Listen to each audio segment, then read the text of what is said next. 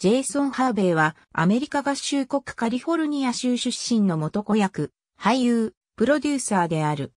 俳優、プロデューサーとして知られるハーベイは1972年にカリフォルニア州ロサンゼルスに生まれた。幼少の頃から子役としてエンターテイメントの世界に足を踏み入れ、バックトゥザフューチャーやポリスアカデミーにティム・バートン監督の初期の作品などに顔を出している。それらはほぼ少ししか登場しないような小さな役柄だったが、1988年から1993年まで放送された大ヒットドラマ、素晴らしき日々にレギュラー出演を果たしたことで一躍、その名が知れ渡るようになった。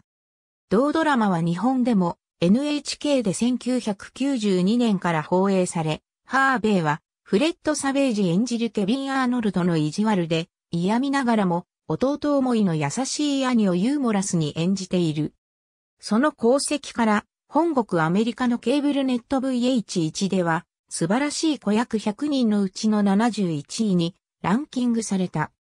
2003年から2005年までは俳優業から退いた形でアラバマ州を拠点とするヘルスケア用品の販売会社のヘルスウスという株式会社の副社長をやっていたが、会社による大規模な詐欺事件なども相まって後にその職を退いた。その後、再び芸能界へカムバックを果たし自身が設立したプロダクションの広報やプロデューサーとして現在は活躍している。WCW で当時副社長をしていたエリック・ビショフと知り合い、ビショフ、ハーベイ・プロダクションズという制作会社を設立している。